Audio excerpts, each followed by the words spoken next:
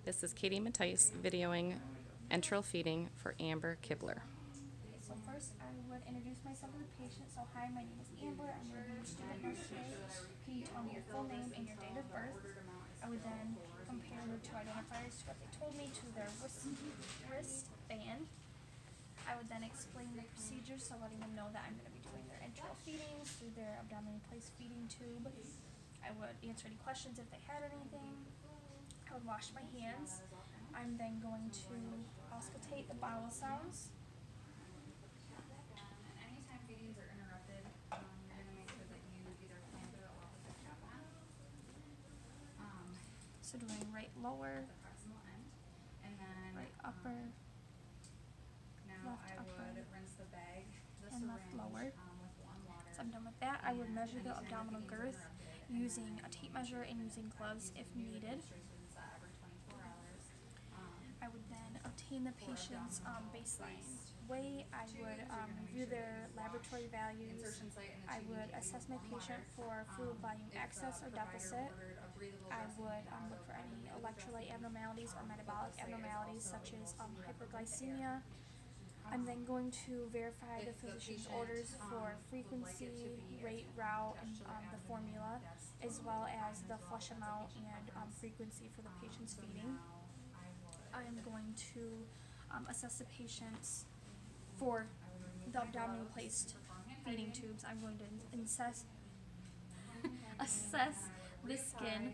So looking for um, any skin breakdown around the ins- insertion site, um, irritation, drainage, or discomfort.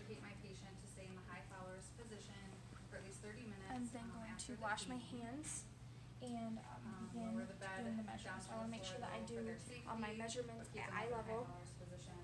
I'm going to identify the patient again, making sure because I left the room to get my supplies that I still have the correct patient, so asking their name and date of birth. I'm going to um, check the expiration date. So the expiration date on here is 2025, so the expiration date's good.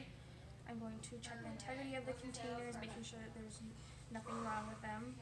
Um, make sure that the formula and that the flush um, fluid is at room temperature, and I would make sure I shake the um, formula well before um, giving it to my patient. So I'm out gonna do the flush first. Make sure that I hold the label into the palm of my hand. And make sure that I'm at eye level. Okay, I was gonna say, I can say if you wanna watch it, but literally nothing you miss is in the place. But if you want me to, I'll just wait and watch it, that's fine. Before and after. After that, I'm going to wash my hands again and apply gloves.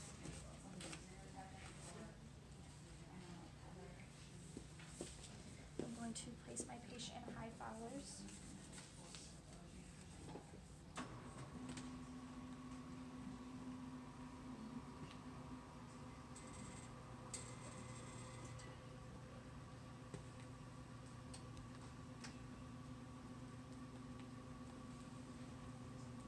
So you good then? You sure? I don't want to. Okay, after that, I'm going to um, assess my patient's um, gastric placement for the tubing, making sure it's in the correct place, and I'm going to um, look at the residual volume in the stomach. Places here, in case there's any drainage that comes out or gastric contents coming out of the tube.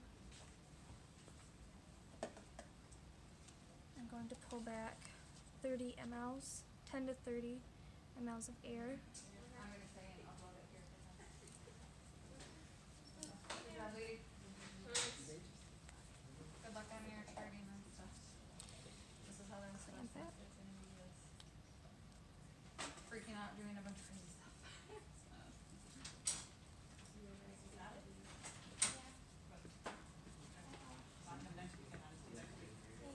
I'll attack.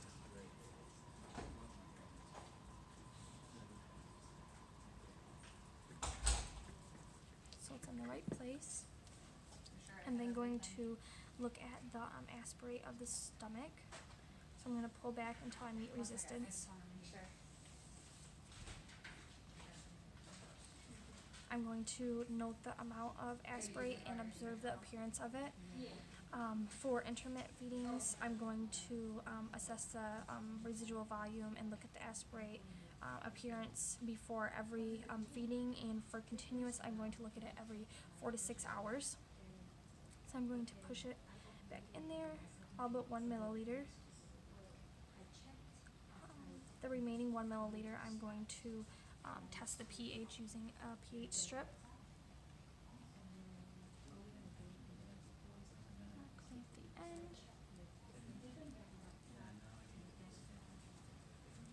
Test the pH.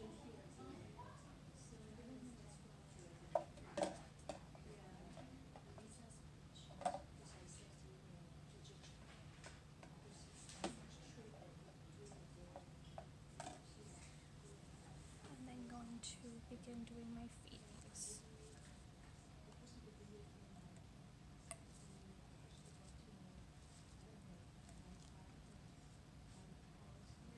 So I'm going to flush first.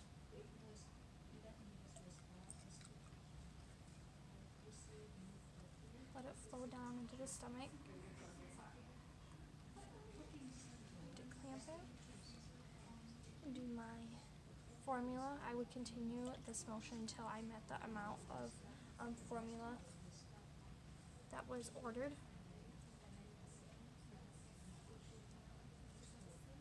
Clamp it, and then I'm going to do the last flush.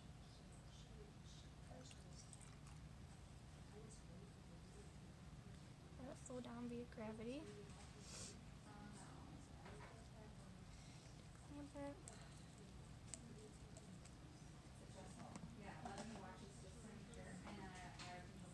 When I'm not administering the feeding, I'm going to make sure that I cap or clamp the proximal end of the feeding tube.